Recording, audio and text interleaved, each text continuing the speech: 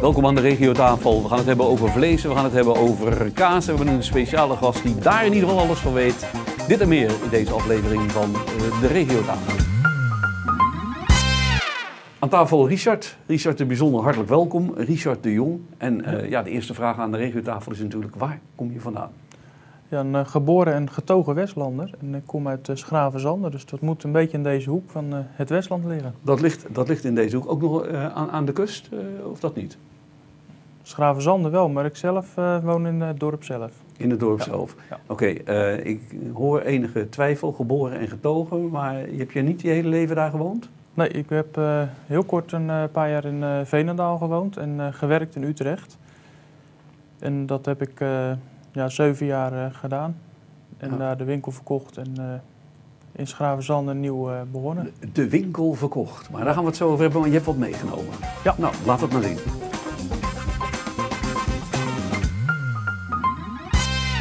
Nou, dat is, dat is kaas zo te zien, hè? Ja. Kaas en wijn en bier. Klopt dat? Port en bier inderdaad. Nou, alle- allereerst eventjes, eh, je zit in een vernieuwd Schravenzand, althans een vernieuwd Ja. centrum is dat, hè? Klopt. Ja, en je hebt een hele bijzondere plek uitgekozen om een zaak te beginnen. eh, Want je zit tussen de Lidl en de Jumbo in. Ja. Nou, dan zou je toch bijna zeggen van, dan heb je toch absoluut geen bestaansrecht. Of eh, zie ik dat verkeerd? Nou, juist wel. Aan de ene kant hebben wij de supermarkten nodig als eh publiekstrekkers. En aan de andere kant verkopen wij de, de betere kazen. En in de supermarkt verkopen ze echt eh, de onderkant markt. De on- maar de, de onderkant, maar misschien wat eh oneerbiedig, maar een stuk kaas is toch een stuk kaas? Of zeg ik nu iets van... Nee, eh, helaas niet. Er wordt tegenwoordig heel veel gerommeld in kwaliteiten van kaas met snelrijpen, zuursels. En daardoor verkoop je dus een vrij jonge kaas alles oud. Terwijl bij ons een, een mooi voorbeeld, een oude kaas, echt 14 maanden op de plank gelegen heeft. Ja, dan is hij echt oud. Dan is die echt oud. Ja. Je, bent, eh, eh, je bent kaasmeester, hè?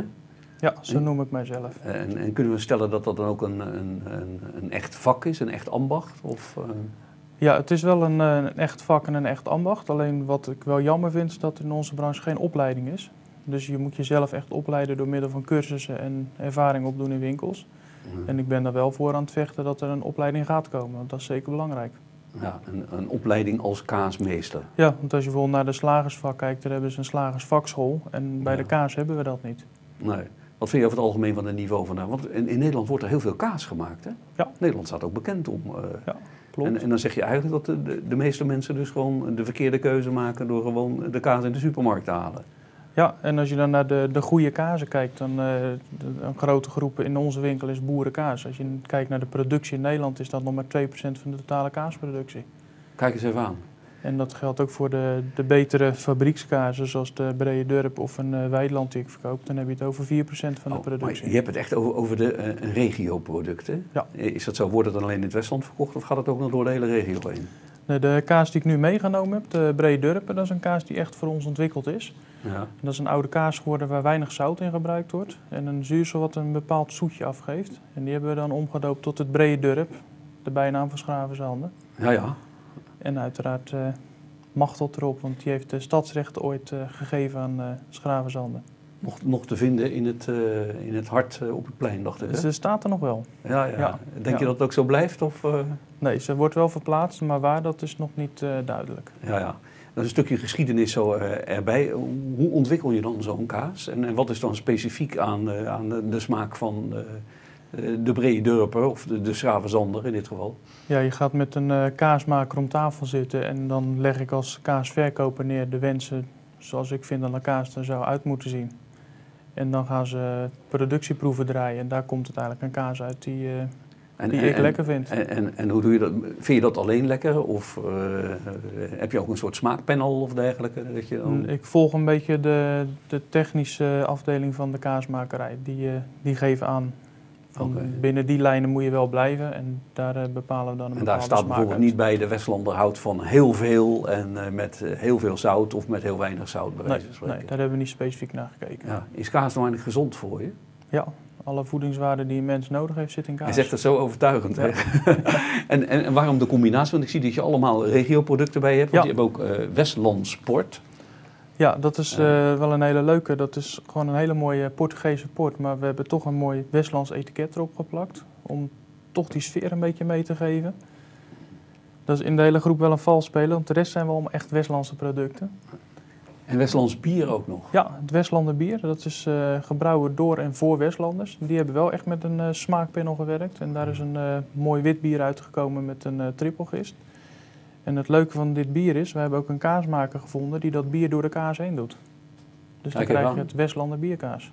Dus, eh, maar je kan niet door veel kaas te eten onder invloed in de auto stappen, bij wijze van spreken. Zo Nee, erg is het niet. nee, want deze kaas die heeft een, eh, een aantal, ja, een maand of drie ongeveer gerijpt. Dus de alcohol is wel verdampt. Ja. Eh, de, de houdbaarheid van de kaas. Je hebt het net over, hoe heet dat, die, die mooie brede dorp kaas. Die, ik weet niet hoe lang rijpt, maar hoe lang blijft die kaas nou eigenlijk ook goed?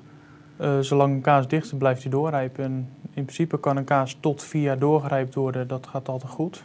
Ja. En daarna heb je, wij hebben nu zelf eentje liggen van vijf en van zes jaar oud. Dat is een hele bijzondere en dat is ja, gok van de rijper. Ja.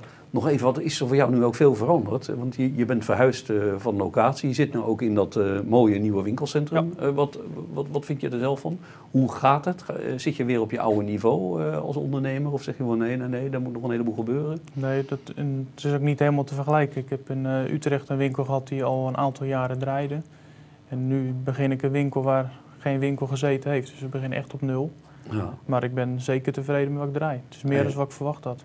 Oh, kijk. Ja. En even een, eh, een link naar de regio en een, een positief geluid. Wat is nou het verschil tussen die mensen in, in, in Tuindorp, waar je dan gezeten hebt, en, en, en die Westlanders? Eh, je bent zelf Westlander, Ja. dus... Nou, Westlanders zijn eh, recht voor de raap. Ja. Dus als er iets niet goed is, wordt het gewoon ook gewoon gelijk verteld. En dan kan je er ook wat aan doen, in plaats Ja. van dat ze doorlopen. En het zijn gewoon eh, levensgenieters, dus je kan goed, een goed stuk kaas verkopen. Goed, dankjewel. Alsjeblieft.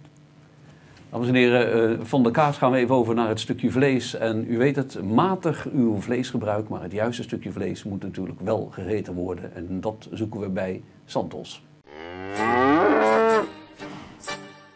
Waar zit je favoriete stukje vlees? We horen het wekelijks van Carlos. Vandaag de bavet.